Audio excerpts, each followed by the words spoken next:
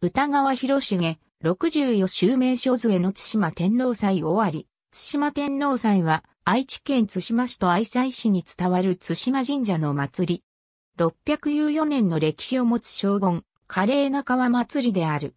江戸末期の東海道名所杖には、津島祭と記載されている。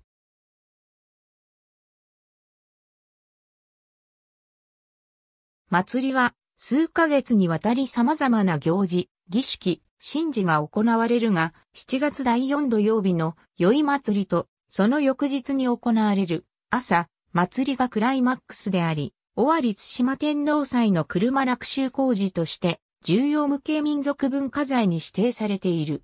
2016年12月1日には、山、鉾、屋台行事として、ユネスコの無形文化遺産に登録された。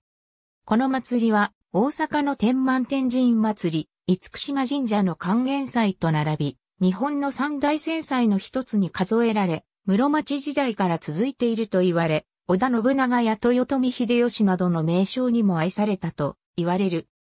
宵祭りは、500個余りの提灯をまとった巻原船が、津島笛を奏でながら、悠々と天皇川を漕ぎ渡り、揺らめく提灯が川面に移りその美しさを際立たせ、朝祭りには、津島の五層に、愛妻市鞘谷地区の一会社が先頭に加わり六層の車落船が、農人形を飾り楽を奏でながら漕ぎ進む。